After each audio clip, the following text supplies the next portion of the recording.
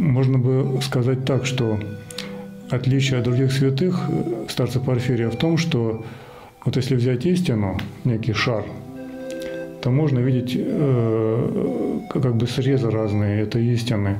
И разным святым э, с разных ракурсов открывались разные срезы. Но вот старец Порфирий, он отличается как раз тем, что ему открылось, можно сказать, вот все вот в целом. Его некоторые вещи, они настолько глубокие, что они даже еще и не поняты. И сейчас уже как бы в догонку издаются уже такие самые э, необычные воспоминания самых близких людей. И вот одна из таких книг, которые мы недавно перевели, «Уроки старца Порфирия». Выражение «воскорбел духом» богословы не хотят браться за эти слова, боятся.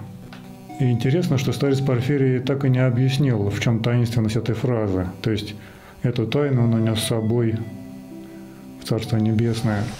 Дорогие друзья, по ссылке в описании приглашаем вас в наш богословский лекторий на Patreon.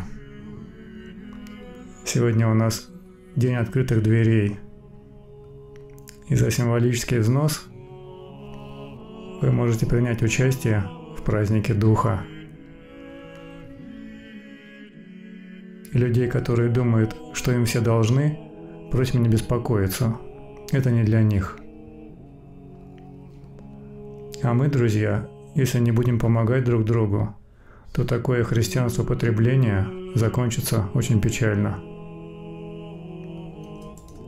Итак, приглашаем вас по ссылке в описании на полную лекцию, в которой вы наконец увидите, что в Евангелии действительно есть разные уровни понимания – и что для того, чтобы хотя бы просто правильно перевести Евангелие с древнегреческого и опуститься еще на один более глубокий уровень понимания, нужно не богословские знания и ученость, а духовный опыт.